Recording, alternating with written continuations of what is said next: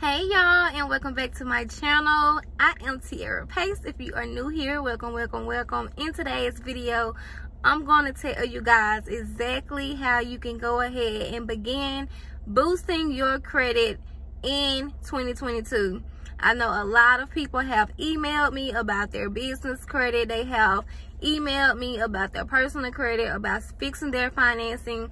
And I want you guys to know that you can book a one-on-one consultation with me if you need to and if you're ready to get started. You can also go ahead and sign up below in the description in order for me to help you fix your personal credit. In today's video, I want you guys to know that once you have fixed your personal credit, you can go ahead and begin building business credit and getting business funding. Now, with getting business credit, you do not have to have good personal credit in order to get started.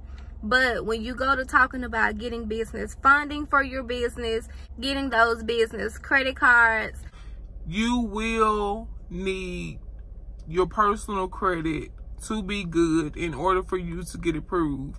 Now, when it comes to getting your personal credit fixed in the year of 2022, the first thing you need to do is make sure you're paying all of your bills on time. If your payment history is not at 100% right now, that means that you have a lot of late payments that have previously been reported onto your credit reports and you need to make sure that you're adding installment loans onto your credit reports or if you have installment loans on your credit reports already reporting you want to make sure that you are paying those each month on time. For you guys that don't know when you have installments that's going to be your car note your student loans your personal loans, your mortgage, all of those are considered installment loans. So if you already have any of those already reporting onto your personal credit reports and your payment history is not at 100%, you want to make sure that each of those installment accounts that you have, that you're paying each of those on time each month. Now, I know things happen and sometimes people get behind. So if you did get behind, just know that they do not report any late payments onto your credit reports until it has been at least 30 days or longer. So if you have an outstanding balance that is due and it is over that 30 day range, it's more than 30 days, you need to make sure that you go ahead and catch up on that account so that it can bring that account into good standing. Once it brings that account into good standing, it will no longer report negative payment history for you. So if you continue to let your payment history continue to be in the unpaid stage, it will lower your credit reports as long as it's reporting negativity onto your account. So you want to make sure if your payment history is not at 100% that you go ahead and get started getting that up to the 100%. If you're someone who does not have a lot of installments and you do not have late payments on your credit reports, this means that you need to begin building your payment history. In order for you to build your payment history, this means that you need to add installments onto your credit reports in order to have that payment history reporting each month.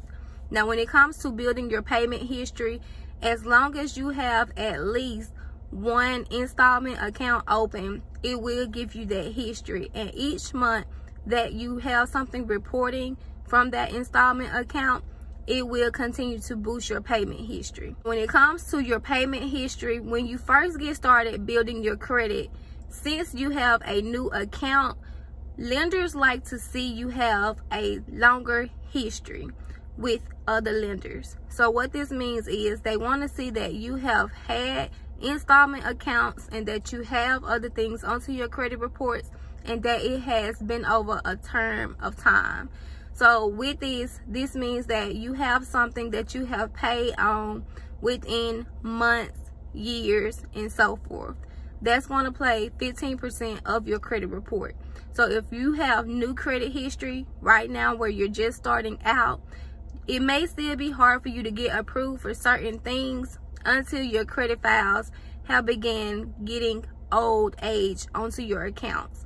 So with this, this means that you want to get some kind of installment loan that's going to be at least a year or two longer so that you're able to build that payment history as well. Now, for someone who does not have credit cards reporting onto your credit reports, you want to make sure that you go ahead and get at least two accounts so that you're able to have that revolving account showing onto your credit reports. When it comes to getting credit cards, you have to have credit utilization showing onto your credit reports in order for your credit reports to be strong. With credit cards, this is considered your revolving credit line. When you have credit cards reporting onto your credit reports, this plays 30% of your credit score. So if you do not have credit cards reporting already, this is the reason why your credit is not in good standing. Until you begin adding credit cards to your credit file, your credit scores will not go up unless you have utilization reporting onto your credit reports. So once you get your credit cards, you want to make sure that you are using those responsibly and that you're keeping your utilization under 30%. So what this means is if you have a credit card that's like $300, you want to times that by the 30% so that you can know how much you can spend each month on that card.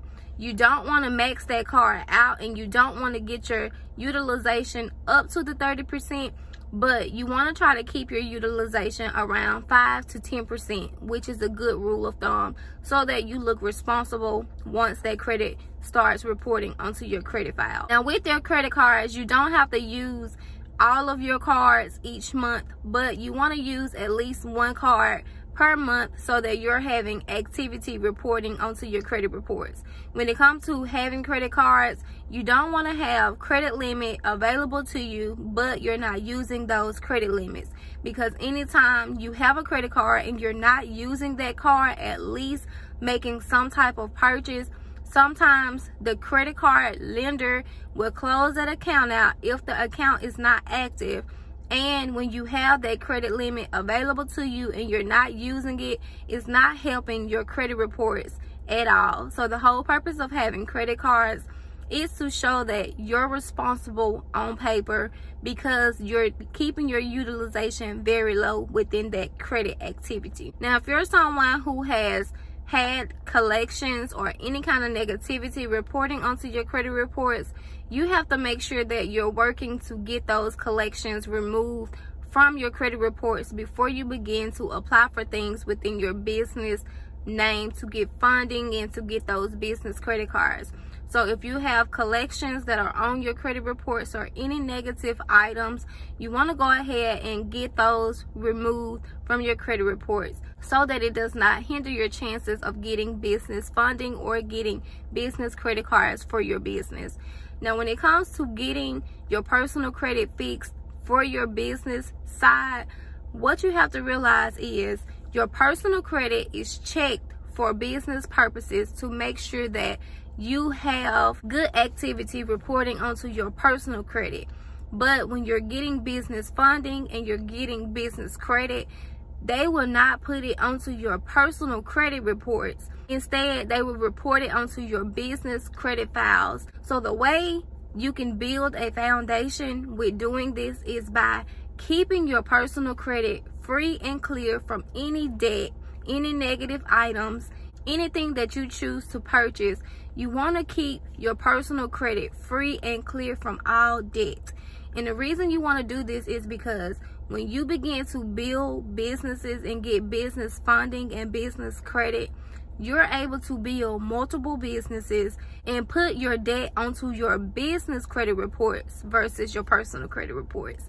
So one of the things that I like about having business credit and getting business funding is once they pull your personal credit and you don't have any debt onto your personal credit, now you're able to get approved in your business name for the funding that you need.